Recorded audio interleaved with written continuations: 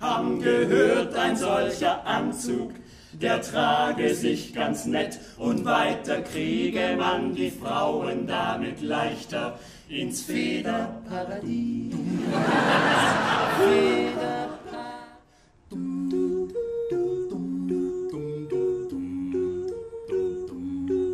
So saßen sie am Meer in dieser warmen Sommernacht.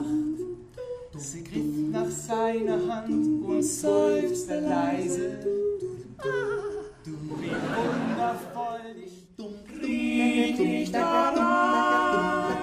Wo bleibt deine Menschenwürde? Lass das doch sein.